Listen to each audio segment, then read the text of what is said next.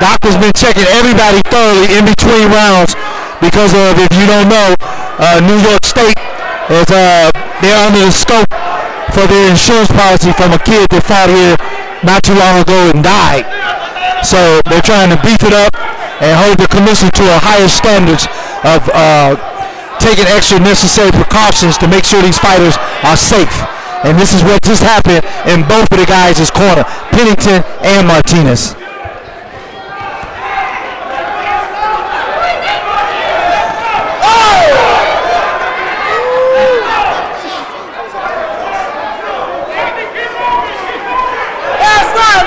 Let's go! Champ!